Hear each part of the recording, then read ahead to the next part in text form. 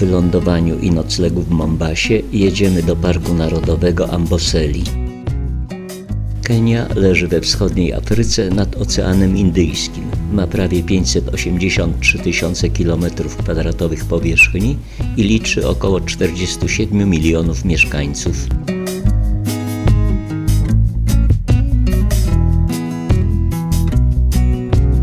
Główną osią komunikacyjną jest linia kolejowa z Mombasy do Ugandy, przechodząca przez stolicę Kenii Nairobi. Językami urzędowymi w Kenii są angielski i Swahili. Żyje tu ponad 30 grup plemiennych, a napięcia między grupami etnicznymi są jednym z głównych problemów kraju. Kenia jest krajem rolniczym, a w sektorze usług dominuje turystyka. Co roku Kenię odwiedza około 1,5 miliona turystów.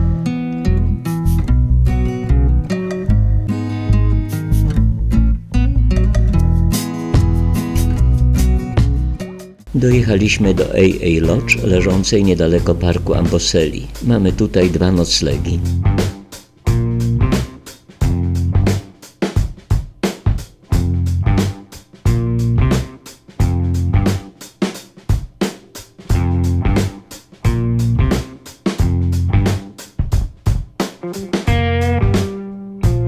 Podróżujemy takim mikrobusem, a to nasz kierowca i przewodnik.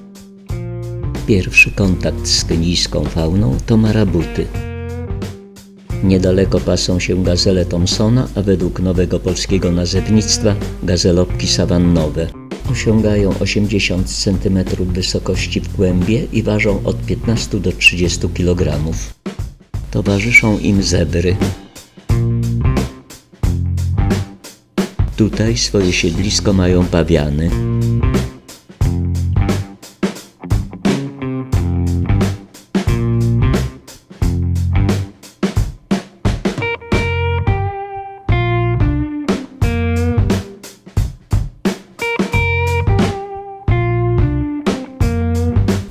Dojeżdżamy do jednej z bram wjazdowych do parku Amboseli. Park ma 390 km2 i leży przy granicy z Tanzanią. Obejmuje południowo-zachodnie stoki masywu Kilimandżaro. Park założono w 1974 roku, a w 1991 roku został przez UNESCO uznany za rezerwat biosfery. Parku żyje około 400 gatunków ptaków. Na terenach trawiastych żyją między innymi pawiany. Prowadzą one naziemny i stadny tryb życia. Po ciąży trwającej do 193 dni samica rodzi jedno młode. Długość życia pawianów dochodzi do 45 lat. W parku spotyka się też zebry i gazele. Niegdyś występowały tu także lwy, ale zostały wybite przez Masajów.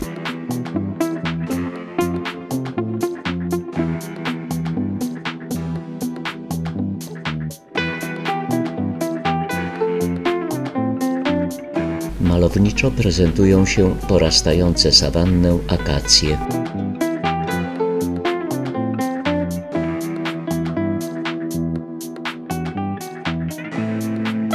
Park Amboseli znany jest jednak przede wszystkim z ogromnych stad słoni. My niestety na razie spotkaliśmy tylko jednego. Słoń afrykański to największe żyjące współcześnie zwierzę lądowe. Osiąga wysokość w głębi od 3 do 4 metrów i wagę od 5 do 7,5 tony. Żyje około 70 lat.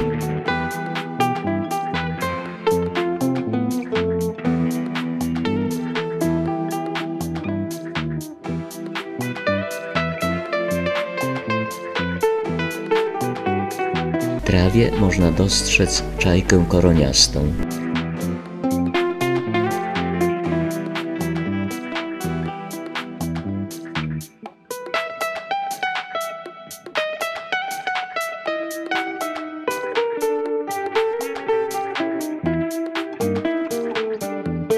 Uszy słonia sięgają do 1,5 metra długości.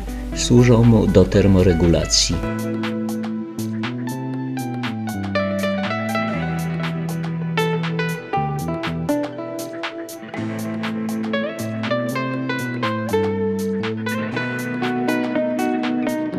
Pożywienia w trawie szuka struś masajski. Czarne upierzenie świadczy, że to samiec. Struś widzi dobrze na odległość do 5 km, a biega z prędkością 50 km na godzinę.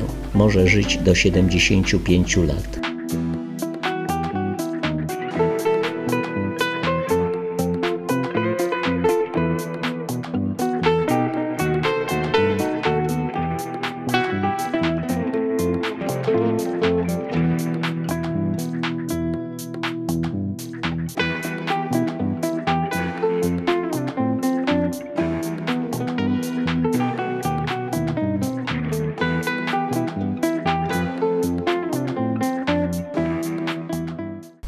Trafiamy na niewielkie stado słoni. Stada tworzą samice i młode słonie, a stadu przewodzi dorosła samica, z którą każdy z członków stada jest spokrewniony. Młode samce przeganiane są ze stada, gdy tylko osiągną dojrzałość płciową. Zbierają się wówczas w grupy kawalerów. Dorosłe samce żyją samotnie, a dostęp do stada mają tylko przez krótki czas, gdy samica znajduje się w okresie rój.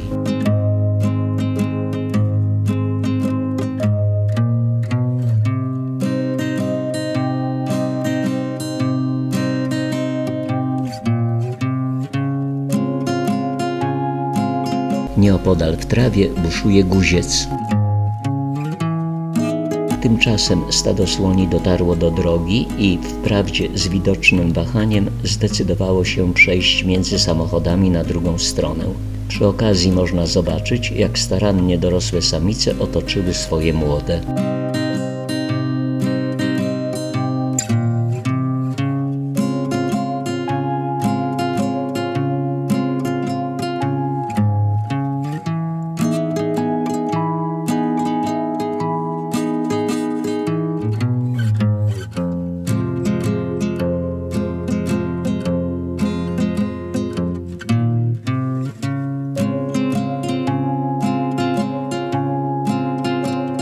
Drogę wyszedł frankolin żółtogardły, gatunek ptaka z rodziny bażantowatych.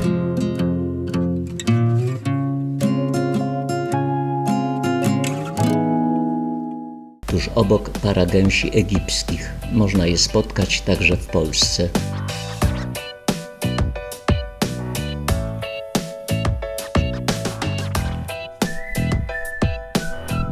W oddali widać stoki masywu Kilimandżaro, ale sam szczyt kryje się w chmurach.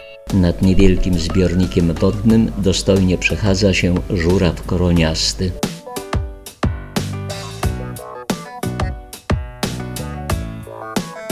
Tu mamy parę sujek koroniastych.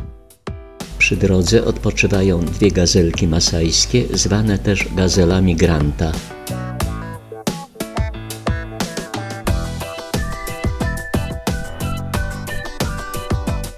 Przed opuszczeniem parku spotykamy jeszcze jednego słonia samotnika. Mamy zamiar powrócić do parku następnego dnia.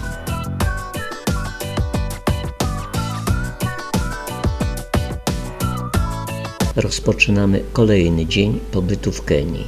Niestety w nocy miała miejsce ogromna tropikalna ulewa i droga prowadząca z naszej lodge do parku Amboseli jest całkowicie rozmyta. Podejmujemy jednak próbę dojechania do parku.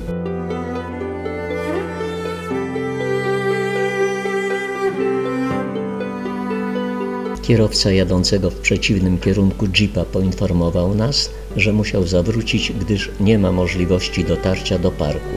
Wobec tego nie pozostaje nam nic innego, jak także zawrócić.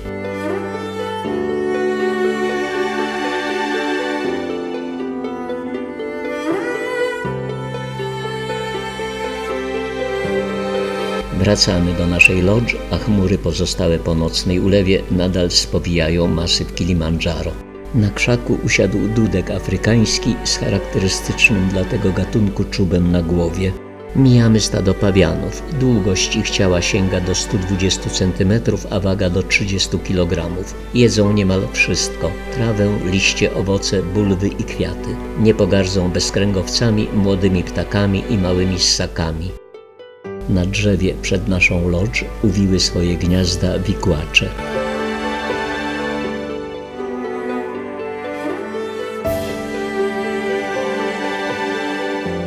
Ten spryciarz kradnie sąsiadowi trawę i przenosi do swojego gniazda.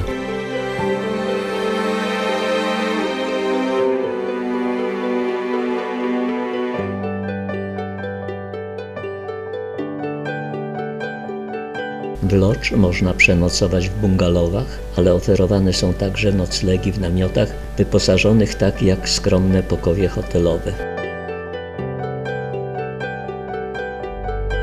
Kilimandżaro nadal kryje się za tymi chmurami. Po południu nadal nie można wjechać do parku, więc udajemy się z wizytą do wioski Masaju. Umyka przed nami szakal czaprakowy.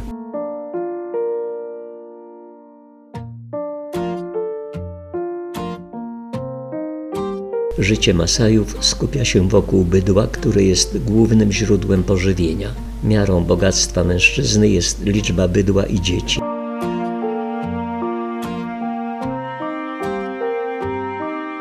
Masajscy chłopcy od najmłodszych lat są zobowiązani wypasać bydło. Drogi po nocnej ulewie nadal są trudne do przebycia. Jeden z naszych mikrobusów ugrzązł i nie jest w stanie wyjechać o własnych siłach. Na szczęście na pomoc nie trzeba było długo czekać.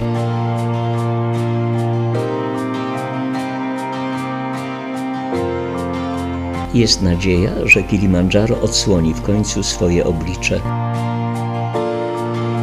Skutecznie pokonując drogowe trudności, dojechaliśmy w końcu do wioski Masajów. Wioska jest otoczona płotem w kształcie okręgu zbudowanym z ciernistej akacji. Wychodzi do nas młody wojownik masajski w tradycyjnym stroju.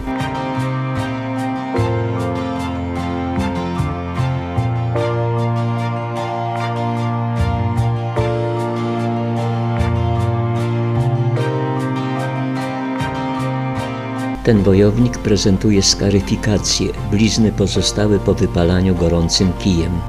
To inna modyfikacja ciała polegająca na przekłuwaniu i rozciąganiu płatków uszu. Mieszkańcy wioski wychodzą na plac, by zaprezentować nam swoje stroje, śpiewy i tańce.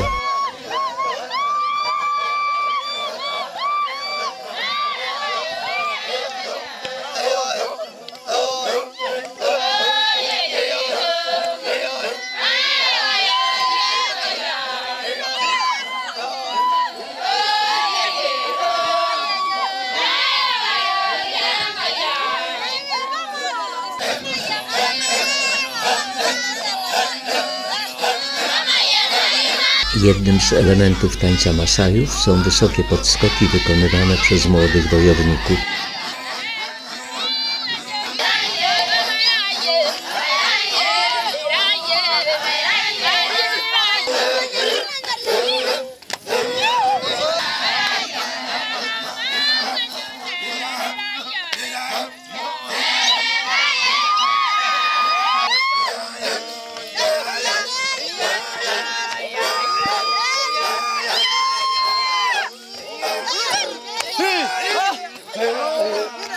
Na koniec pokazu modlitwa. Masajowie są monoteistami, a ich Bóg nazywa się Enkai. Wchodzimy teraz do wioski. To typowe masajskie chaty wybudowane przez kobiety. W jednej z chat zorganizowano przedszkole i szkołę. Dzieci uczą się tu swahili i angielskiego.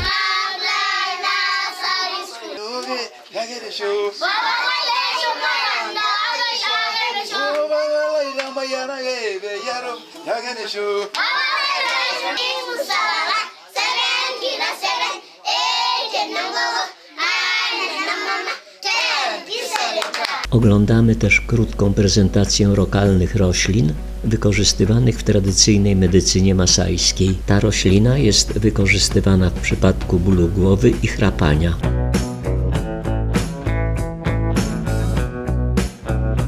Wojownik prezentuje sposób posługiwania się włócznią. Uniesienie jej za sam koniec wymaga znacznej siły i wprawy. Tu z kolei mamy pokaz rozpalania ognia. Na spodzie jest drewno cedrowe, a kołek jest wykonany z akacji.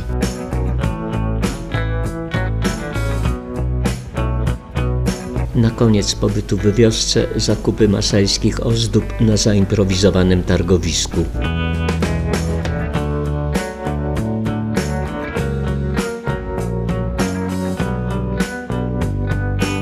Droga powrotna nadal jest trudna. Na tym odcinku ściągnięto nawet specjalny sprzęt, by zapewnić jej przejezdność.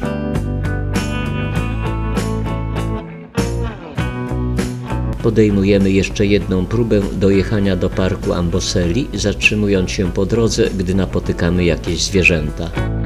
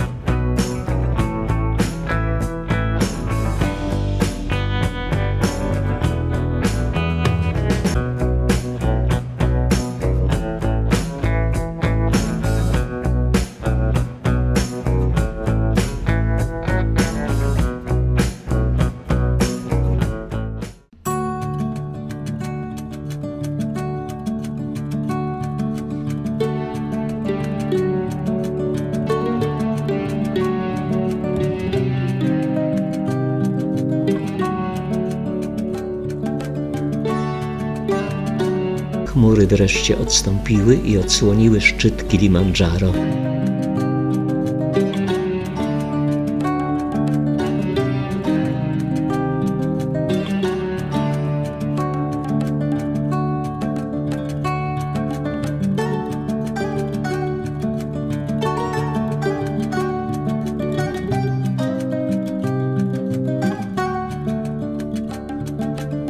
Udało się w końcu dojechać prawie do bramy parku, ale niestety dalsza droga jest nieprzejezdna.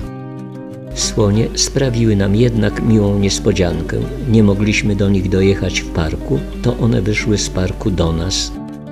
Słonie osiągają dojrzałość płciową w wieku 14-15 lat. Ciąża trwa około 22 miesięcy i rodzi się jedno młode, mierzące około 85 cm i ważące około 110 kg. Słoniątko karmione jest przez matkę dwa lata, a czasem dłużej. Samica rodzi młode zazwyczaj raz na 4 lata. Słonie, mimo swego ciężaru, poruszają się bezszelestnie, gdyż spodnia strona stopy jest niczym poduszka, miękka i delikatna.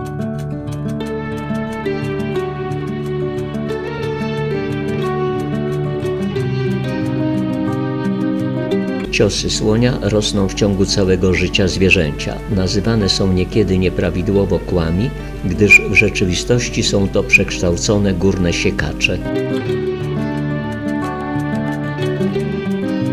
Słoń ma cztery łuki trzonowców, po jednym z każdej strony szczęki. Mają one 30 cm długości i składają się z czterech zrośniętych zębów. Wraz ze ścieraniem się przednich zębów wyrastają od tyłu kolejno następne. Mogą odrastać w całości nawet sześć razy. Gdy kończy się odrastanie, słoń skazany jest na śmierć głodową, gdyż nie może rozcierać pobranego pokarmu roślinnego.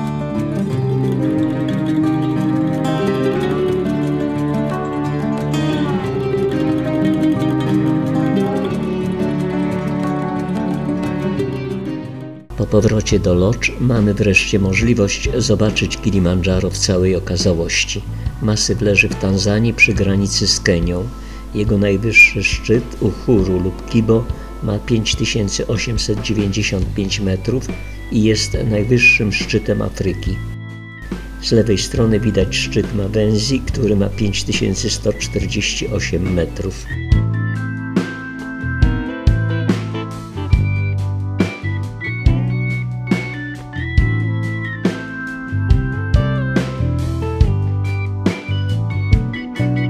Następnego ranka wyruszamy do Parku Narodowego Lake Nakuru.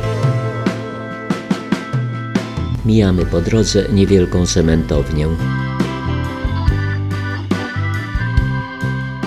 Naszą bazą wypadową do parku jest lodge pięknie położona nad jeziorem.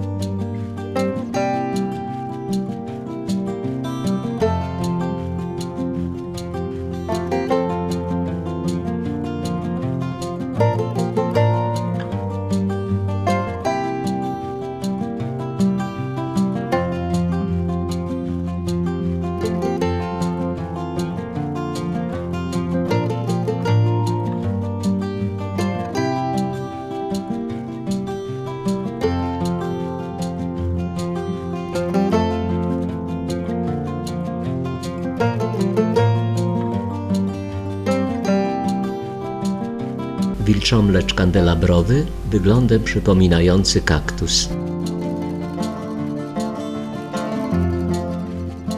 Na wjeździe do parku kroczy przed nami para pawianów.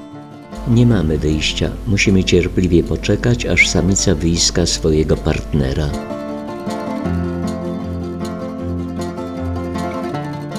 Nakuru jest płytkim, alkalicznym i słonym jeziorem o powierzchni 45 km2. Leży w zapadlisku Wielkiego Rowu Afrykańskiego Wschodniego. Park Narodowy Jeziora Nakuru ma 188 km2 powierzchni. Występuje tu 56 gatunków ssaków i 450 gatunków ptaków. W trawie przemykają guźdźce należące do rodziny świniowatych. Ich cechą charakterystyczną są dwie pary głów wystających z otworu gębowego i zakrzywionych ku górze. Samiec może ważyć do 150 kg.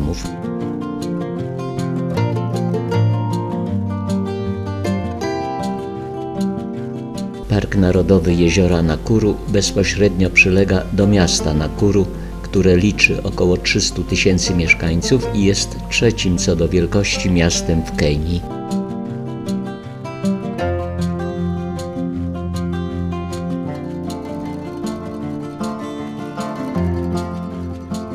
Zatrzymujemy się przy niewielkim stadzie zebr.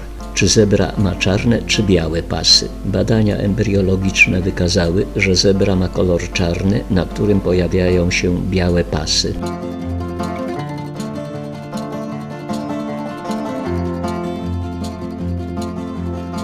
Zebra należy do rodziny koniowatych. W kłębie osiąga wysokość do 1,40 m, a wagę do 300 kg. Może się rozpędzić do 60 km na godzinę. Żyje do 35 lat. Zebry żyją w stadach składających się z ogiera, kilku samic i potomstwa. Właśnie tuż przed naszym przybyciem przyszło na świat źrebiątko. Jeszcze niezdarnie porusza się na nogach, ale wkrótce będzie w pełni sprawne. Zebry osiągają dojrzałość płciową w wieku około 4 lat. Po ciąży trwającej 375 dni przychodzi na świat jedno młode.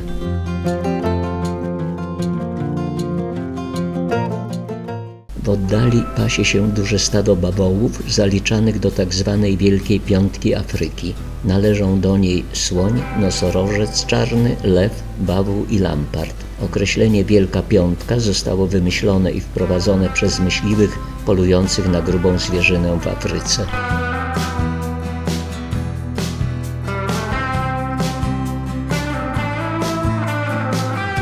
Tutaj popasają antylopy waterbuck. W przypadku niebezpieczeństwa grożącego ze strony drapieżników uciekają do wody.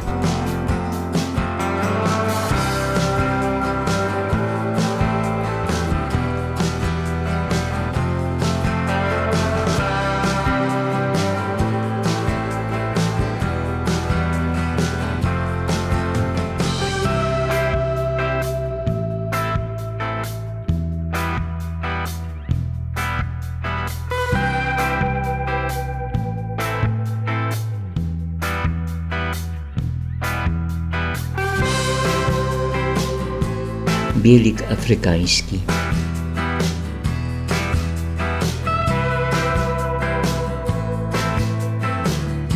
Przy brzegu pływają pelikany, a kormorany siadły na krzakach i suszą skrzydła.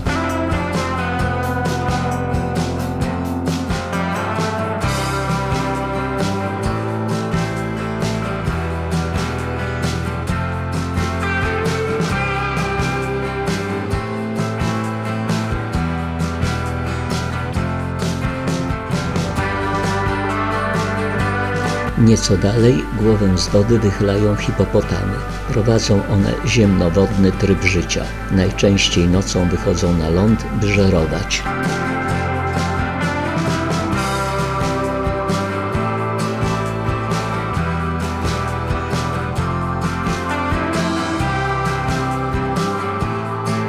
Bawół jest potężnym ssakiem osiągającym wagę do 900 kg. Potrzebuje stałego dostępu do wody, gdyż dziennie wypija około 30 litrów, a w czasie suszy nawet 40. W oddali pojawiły się trzy nosorożce białe. Nazwa nie ma nic wspólnego z ich ubarwieniem. Nosorożec biały różni się od czarnego szerokością pyska. Biały ma znacznie szerszy pysk niż nosorożec czarny. Ciąża nosorożca trwa około 16 miesięcy i na świat przychodzi tylko jedno młode, które przez 18 miesięcy żywi się mlekiem matki. Kolejne ciąże następują w dwu-trzyletnich odstępach czasu.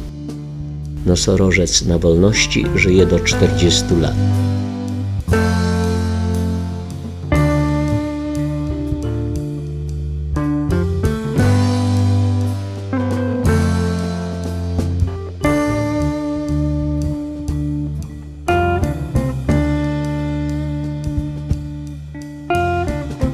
Trudem usiłujemy przedostać się bliżej brzegu jeziora.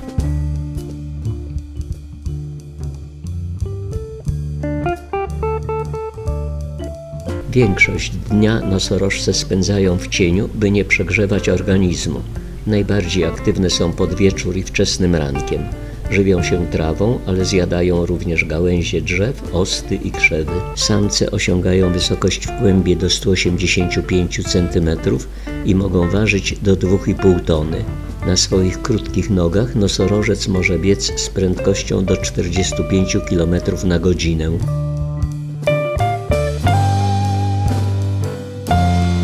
Nad brzegiem jeziora stado bawołów ułożyło się na spoczynek.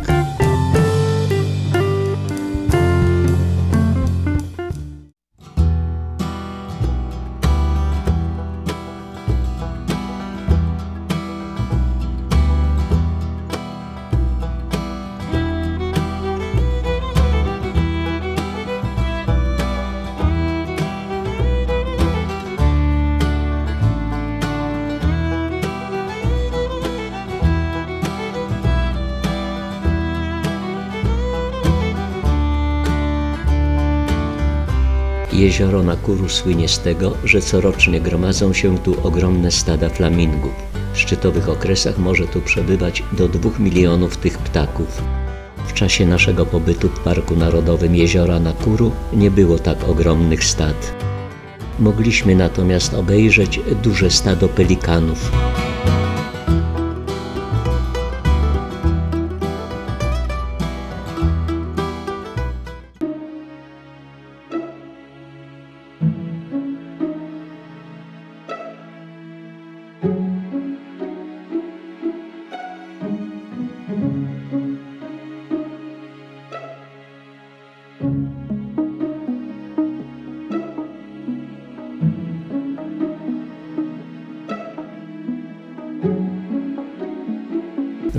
Koroniaste, tworzące pary na całe życie. To duże ptaki o rozpiętości skrzydeł do dwóch metrów. Najbardziej charakterystyczną cechą jest korona z piór na głowie. W Afryce są obdarzane szacunkiem ze względu na swą dostojność i szlachetność. Tego żurawia umieszczono w centralnym punkcie flagi państwowej Ugandy.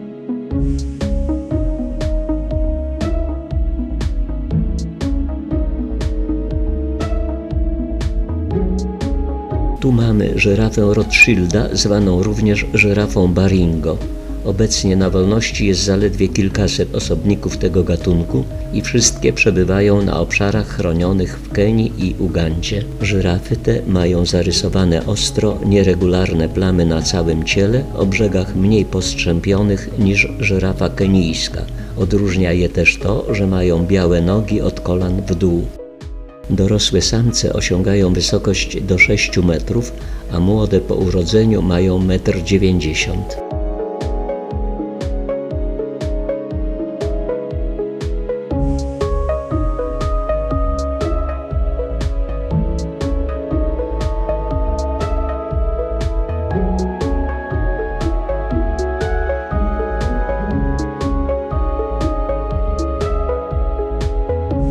konarze głęboko w lesie lampart odpoczywa po udanym polowaniu. Lampart plamisty jest samotnikiem, najczęściej poluje nocą. Samiec osiąga do 80 cm wzrostu i wagę do 90 kg. Potrafi wykonywać 6-8 metrowe skoki. Zbliża się już wieczór i pora opuścić park.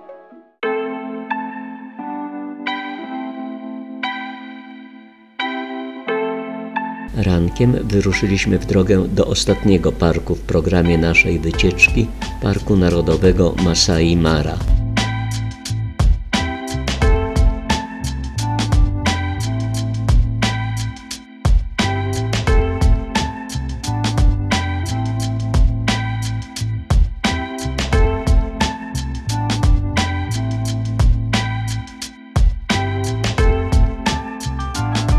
Dotarliśmy do lodż, w której mamy dwa kolejne noclegi.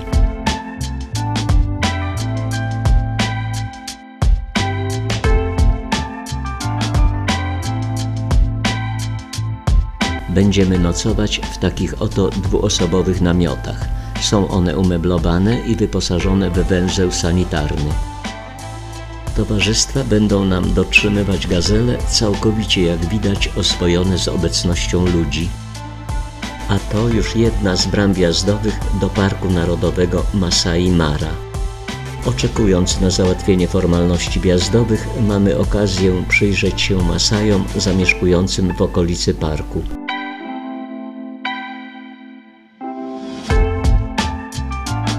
Barwnie ubrane kobiety Masajów sprzedają wyroby lokalnego rękodzieła.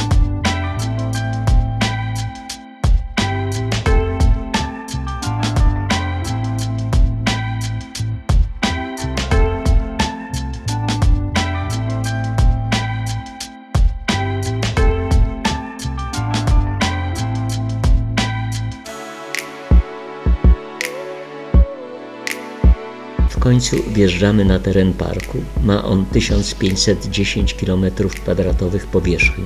Nazwa Masai Mara wywodzi się od zamieszkujących tu Masajów i od rzeki Mara, przez którą przeprawiają się dziesiątki tysięcy antylop gnu w czasie corocznej wielkiej migracji. Już na samym początku spotykamy gepardzicę aż z siedmioma młodymi gepardami. Jest to ewenement, gdyż samica geparda po ciąży trwającej około 90 dni rodzi od 3 do 5 młodych. Tak wielki miot jest zdarzeniem na tyle niezwykłym, że zarząd parku wyznaczył dwóch rangersów, którzy przez całą dobę asekurują tę gepardzią rodzinę, by nie doszło do zabicia młodych gepardów przez hieny.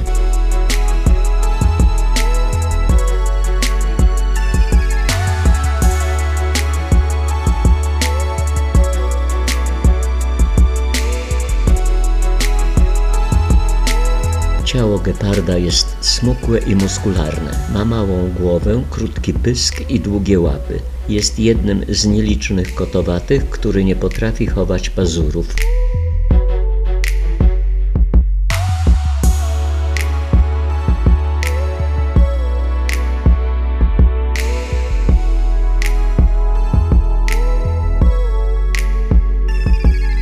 Młode gepardy po urodzeniu ważą od 15 do 30 dekagramów. Od matki odłączają się między 13 a 20 miesiącem życia. Po opuszczeniu matki pozostają w gronie swych braci i sióstr, dopóki nie nauczą się dobrze polować.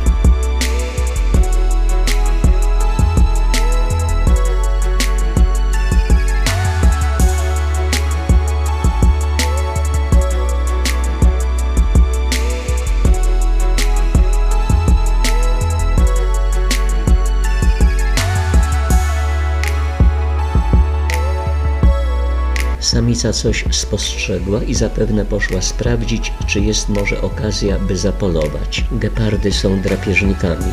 Żywią się głównie małymi ssakami o wadze do 40 kg, takimi jak gazele, młode gnu czy zające.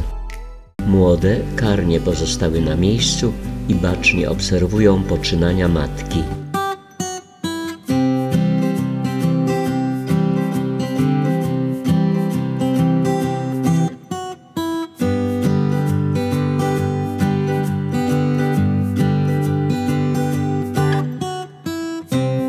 Młode gepardy mają na karku grzywę, która pomaga im maskować się, a matce ułatwia przenoszenie.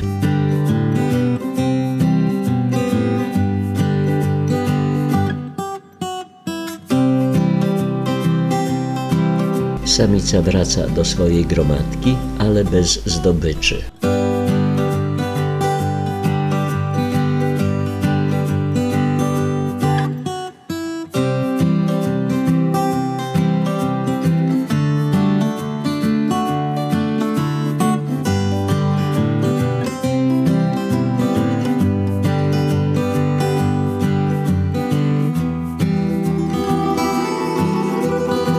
Dzisiejszego popołudnia niewiele udało nam się zobaczyć. Wyjeżdżając z parku spotykamy tę samą rodzinę gepardów, tyle że w innym miejscu.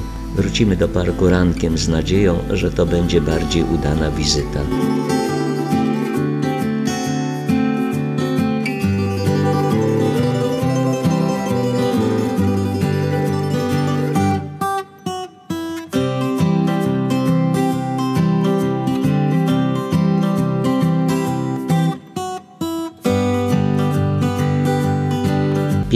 Prezentuje się teren parku w promieniach zachodzącego słońca.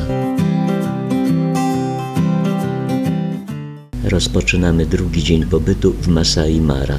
Kierując się do parku, przejeżdżamy przez tereny zasiedlone przez Masajów.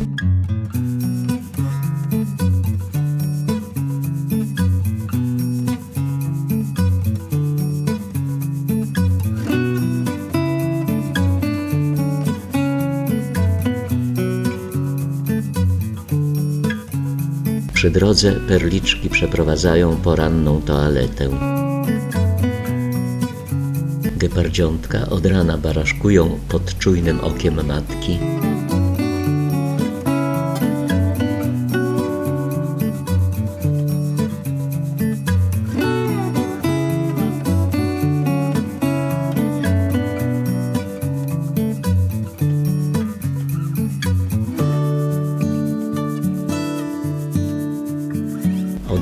Dopisuje nam szczęście. W oddali kroczy nosorożec czarny, zwany też spiczastonosym. Jest spotykany znacznie rzadziej niż nosorożec biały i jest od niego bardziej agresywny. Zalicza się go do Wielkiej Piątki. Podstawowa broń nosorożca, jego róg, stał się przyczyną niemal całkowitej zagłady zwierzęcia. W medycynie wschodu uznaje się bowiem, że sproszkowany róg nosorożca jest lekiem na choroby wątroby, serca i skóry, a także jest doskonałym afrodyzjakiem. Tutaj z kolei w trawie śpi lew zwany królem zwierząt. Większość czasu lwy spędzają odpoczywając, nawet do 20 godzin w ciągu doby. Jedną z charakterystycznych cech lwów jest znaczna różnica między samicą i samcem. Samce są wyraźnie wyższe i znacznie cięższe oraz mają grzywę długich włosów otaczających głowę i kark. Grzywa ciemnieje wraz z wiekiem lwa. Stanowi naturalną ochronę głowy i szyi podczas walki. Jest uważana za oznakę zdrowia samca. Im bujniejsza, tym silniejszy i sprawniejszy jest noszący ją osobnik. Badania wykazały, że samice częściej wybierają na partnera samca z dłuższą grzywą i ciemniejszymi włosami. Słońce przygrzało i obserwowany przez nas lew poszedł poszukać w cieniu miejsca na dalszy odpoczynek.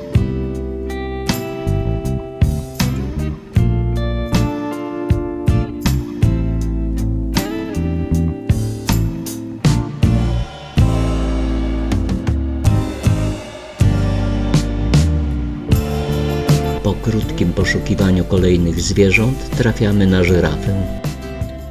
Żyrafa jest najwyższym zwierzęciem lądowym, osiągającym 5 do 6 metrów wysokości.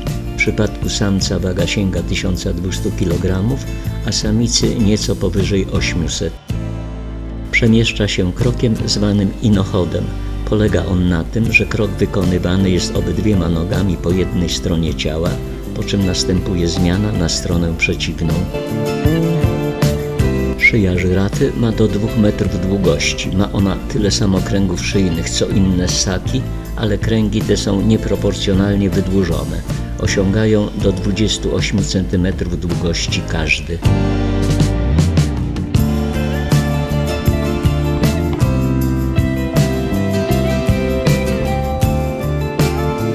Głównym źródłem pożywienia żyrafy są liście akacji rosnące na wysokości niedostępnej dla większości roślinożerców. Zrywanie liści ułatwia giętki język o długości do 50 cm.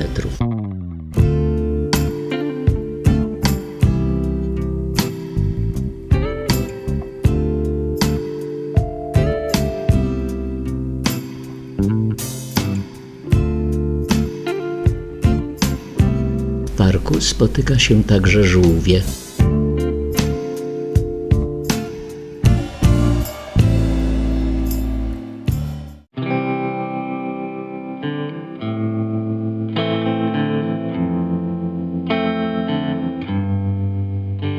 Po sawannie kroczy sekretarz. Stawiając długie kroki, poszukuje pożywienia. Jest ptakiem drapieżnym. Większość czasu spędza na ziemi, polując na gryzonie, żaby, jaszczurki, a najchętniej na węże. Stąd spotyka się także nazwę sekretarz wężojad. Małe stado skoczników antylopich, zwanych także springbokami.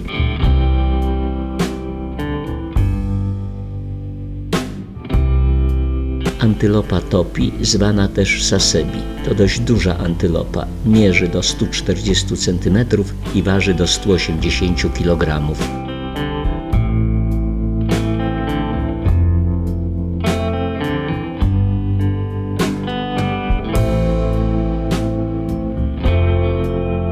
Tutaj w cieniu odpoczywa gepard. Jest uważany za najszybsze zwierzę lądowe. Na krótkich dystansach osiąga prędkość do 100 km na godzinę.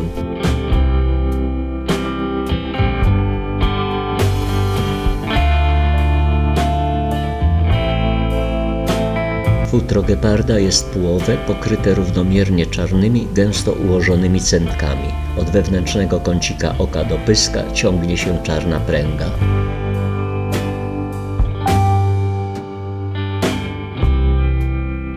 Dorosłe samce ważą do 65 kg i osiągają długość ciała do 1,5 metra.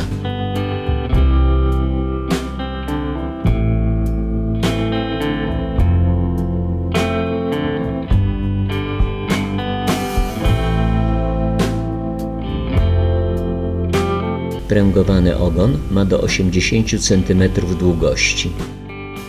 Gepard prowadzi dzienny tryb życia. W polowaniu polega na swoim wzroku i szybkości. Po podejściu do ofiary rozpoczyna pościg, który kończy się w ciągu minuty. Jeśli mu się nie uda, woli poczekać na inną okazję niż marnować energię.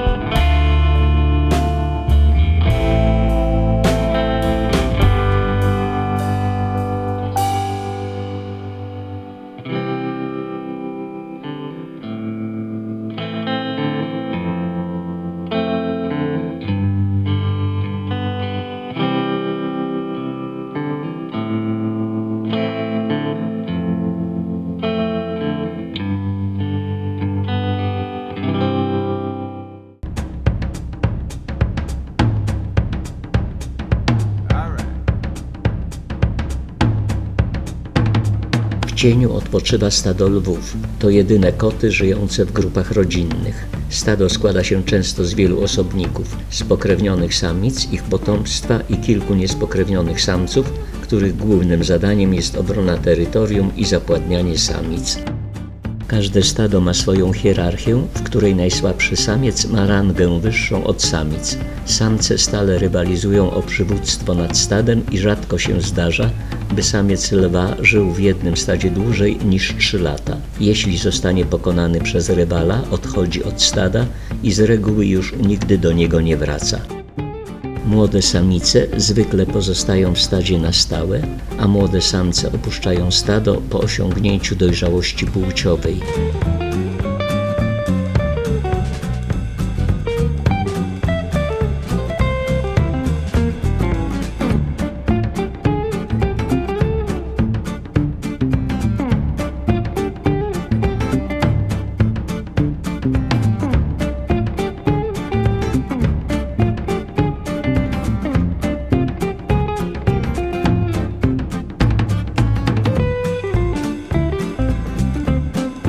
Ciąży trwającej do 114 dni samica rodzi zwykle od 1 do 4 młodych. Nowonarodzone lwiątka mają centki i ważą od 1 do 2 kg. Młodymi opiekuje się całe stado. Tylko jedno na pięć lwiątek osiąga dojrzałość.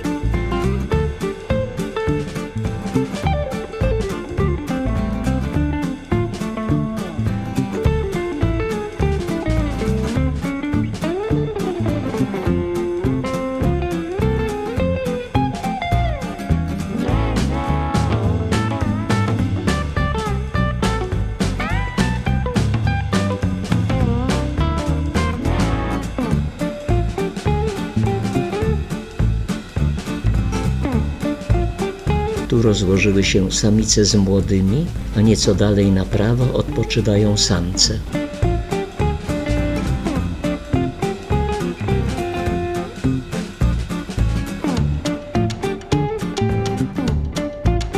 Młode zaczynają chodzić po 15 dniach, a po miesiącu wyrastają im pierwsze zęby. Do ósmego tygodnia życia matka trzyma je w ukryciu. Zaczynają polować w wieku 11 miesięcy.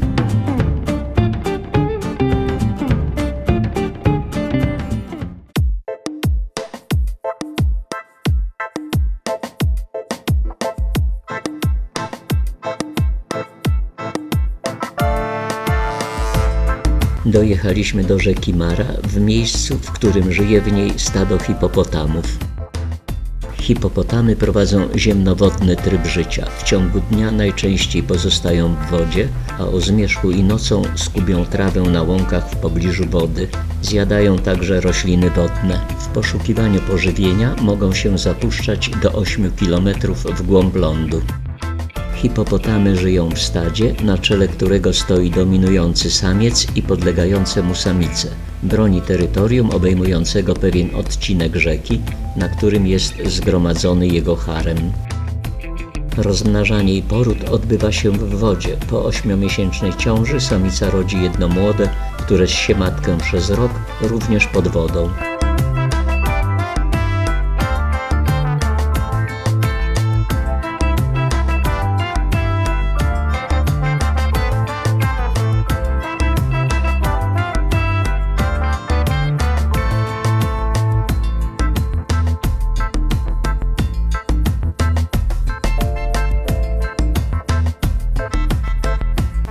Mara płynie dalej do Parku Narodowego Serengeti w Tanzanii i uchodzi do jeziora Wiktorii. Ma 395 km długości.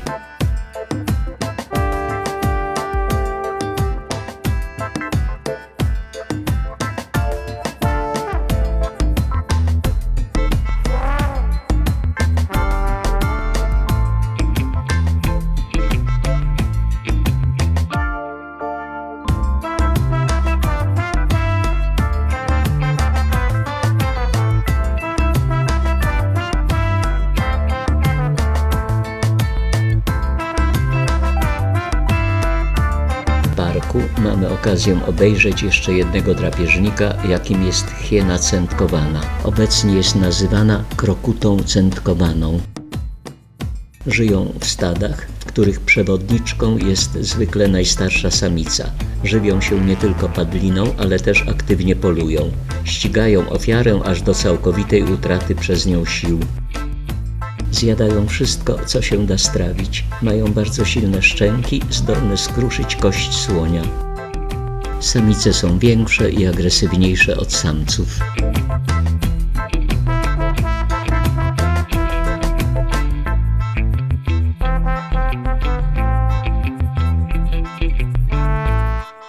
Udało nam się wypatrzeć elanda, największą współczesną antylopę. Ma do 180 cm wysokości i może ważyć nawet jedną tonę. Guźce to częsty obrazek w trakcie naszego pobytu w parku.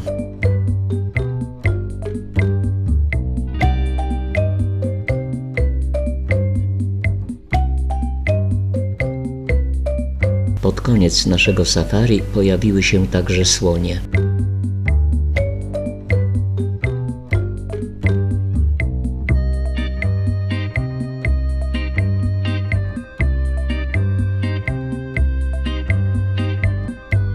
Nasze safari w Parku Narodowym Masai Mara kończymy widokiem niewielkiego stada pawianów.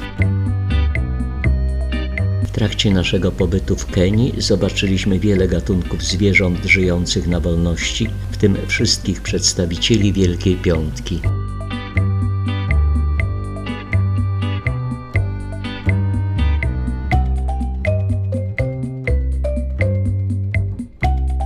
Z rana następnego dnia jedziemy z Masai Mara do stolicy Kenii, Nairobi.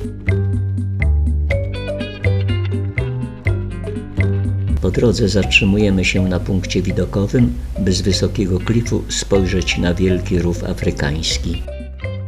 Na skale pod nami zebrało się statko zwierząt zwanych góralkami.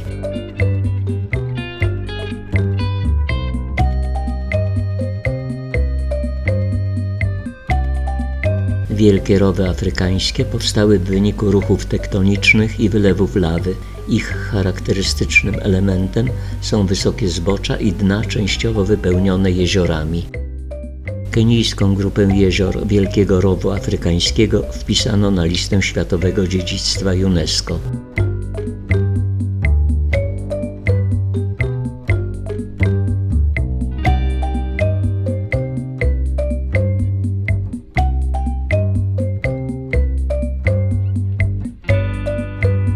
Spotykamy tu grupę wolontariuszek udających się do odległych wsi, by nauczać dzieci.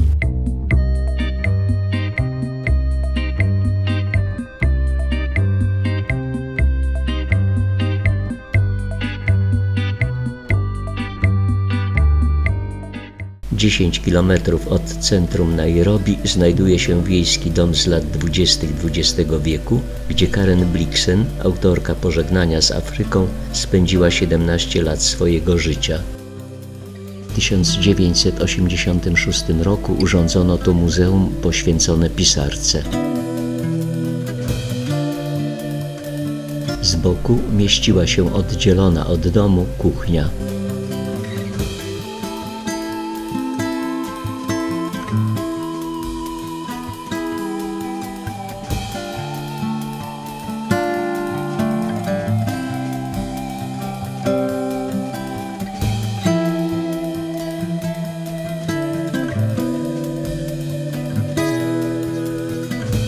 Dom jest położony na terenie dużego, pięknego ogrodu. Można go wynająć na urządzenie przyjęcia, na przykład weselnego. Pobyt w Nairobi kończymy w galerii handlowej.